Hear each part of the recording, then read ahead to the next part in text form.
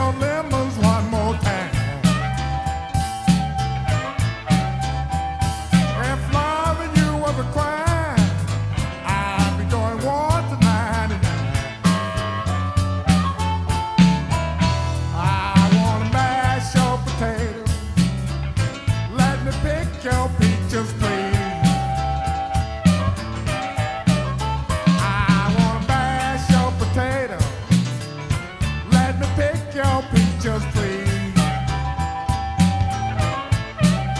I was so happy to see you, woman. Nothing worse.